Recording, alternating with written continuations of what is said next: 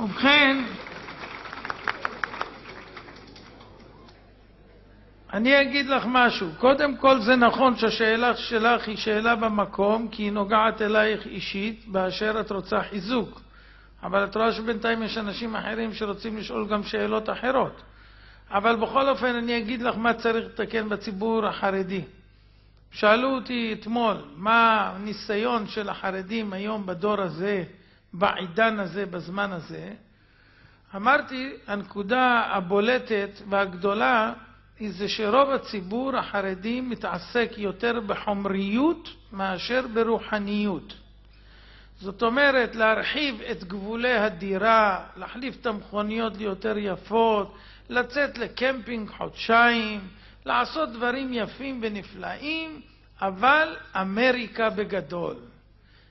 יהדות, יידישקייט, קיום מצוות בדקדוק וזה, זה חלק קטן שנראה אצל אנשים בודדים במספר ביחס לכמות הגדולה של יהודים שנמצאים כאן באמריקה. ממילא, אם אנשים היו מבינים את הייעוד שלהם בחיים, כמו שבעלי תשובה מבינים היום את הייעוד שלהם בחיים, והרבה מהחרדים מתקנאים בבעלי תשובה, איך הם עובדים את השם, איך הם מתפללים, איך הם מברכים, איך הם לוקחים כל דבר ברצינות, ולא כמצוות אנשים מלומדה, אם היו רואים ומבינים מה שהיום בעלי תשובה מבינים, אז המצב היה נראה אחרת.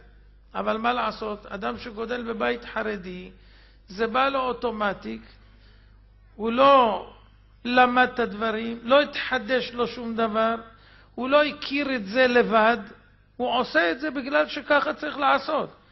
אבל לפעמים הוא עומד מול שאלות באמונה או דברים מן הסוג הזה, וקשה לו להתמודד איתם. לכן הרבה אנשים גם מתחזקים מקלטות ששומעים שאני מדבר לחילונים, ואצלהם זה נותן את התשובות. בכל אופן, דבר ראשון שהיה צריך להמעיט זה ההתפשטות של החומריות. אם זה היו מצמצמים ומשקיעים יותר ברוחניות, המצב היה נראה אחרת. לפני שהגעתי לכאן הייתי פה בבית כלא, הלכתי לבקר שם כמה יהודים, היו שם איזה עשרים יהודים שישבו בבית כלא, ודיברתי איתם על תכלית החיים. אז הסברתי להם ששלמה המלך עליו השלום אומר, הבל הבלים אמר קהלת, הבל הבלים הכל הבל. מה יתרון לאדם בכל עמלו שעמול תחת השמש? מה נותר לאדם מכל העמל שהוא עמל פה עלי אדמות? אפילו שתהיה לו גינה גדולה ומרווחת ובית רחב מידות והכל יהיה במחיצתו ובחלקו וכסף רב, לא יועיל לו ביום פקודה. בשעה שהוא יצטרך לצאת מן העולם הזה הוא לא לוקח את זה. מה הוא לוקח? מה שהוא הכין בימי חלדו. מה שהוא עשה, איזה מצוות שהוא אסף. מה אני עשיתי פה? באתי ולימדתי אתכם מצווה אחת שמכסה על כל החסרון של אדם. אדם שמחזיר יהודי בתשובה, זאת אומרת, אם הוא 60% בעבודת השם, והוא עשה עוד יהודי שיהיה 70% בעבודת השם, אז הוא כבר עשה 130%. אם אדם עשה כמה בעלי תשובה, הוא עשה הרבה יותר ממה שהוא נתבקש. כי אדם צריך להשלים את עצמו. אבל אם הוא מתקן את עצמו ועוד אחרים, כמו שראינו, אם אדם מתקן רק את נפשו, אז זכותו מעטה.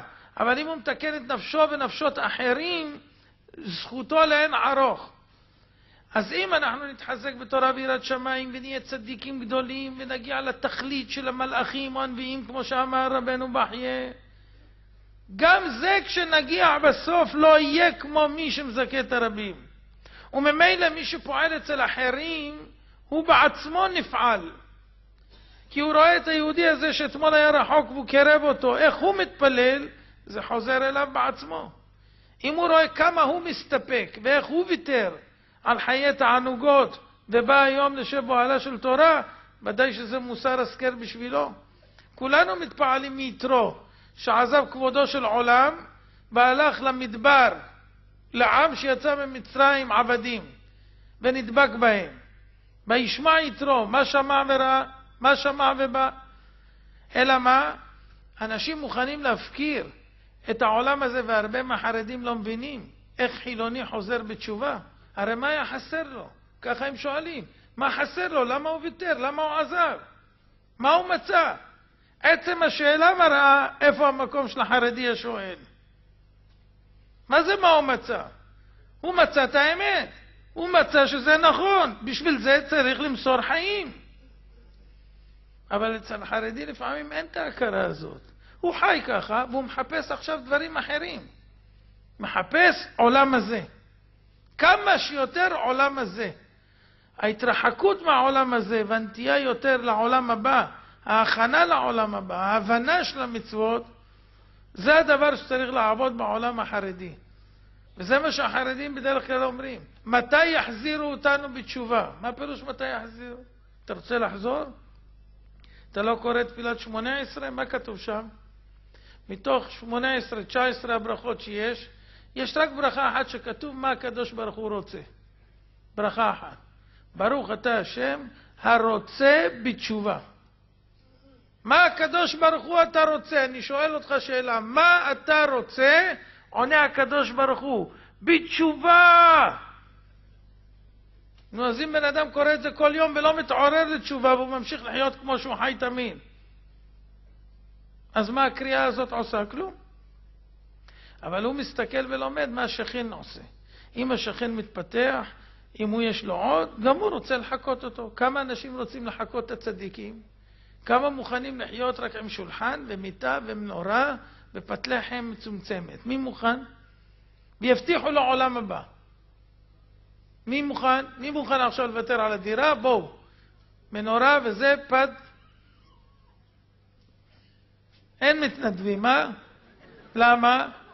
מונסי בלי עין הרע, רחבת ידיים, ברוך השם, וילות מפוארות, תענוג. עולם הזה. אבל צריך לדעת, גם בתוך העולם הזה זה רק כלים שהקדוש ברוך הוא נותן לאדם אפשרויות לעבוד אותו יותר. התביעה תהיה על האדם כמה שהיה לו יותר אפשרויות גשמיות והוא לא ניצל אותם לעבוד את השם, הוא יעמוד לדין על זה. למה? הוא לא יכול להגיד אני לא יכולתי, אני הייתי עני, מחזר על הפתחים, חיפשתי אוכל. יגיד לו הקדוש ברוך הוא, אתה היה לך והיה לך והיה לך. לא רק שלך יכולת להשפיע על אחרים, מה עשית עם זה? לעומת זאת אנשים אחרים שלא היה להם והשפיעו על עולם שלם.